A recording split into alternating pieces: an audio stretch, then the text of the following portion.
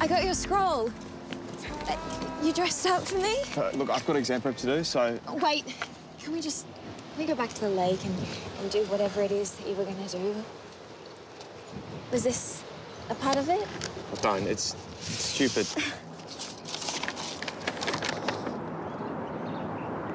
Did you write this for me? I know it's bad. I was just going for quirky and romantic because it reminds me of you, but It's beautiful. I, I love it. you do? Of course I do.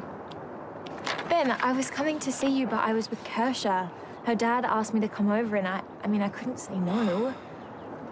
You must think that I was so selfish standing you up. Are you kidding? You're the opposite of selfish. I did all this to show you how much I care, and you don't even have to try. You're always showing how caring you are just by being you. I thought you took one look at my invitation and thought I was the same immature kid you broke up with. No. No, not at all. I never should have broken up with you. I was the immature one. Just, I felt so bad for so long, and I just thought that I didn't have a right asking you to take me back. I love that you did all this. But just knowing that you're into me is all I need. Oh, I'm so into you. Really? Yeah, a hundred times over.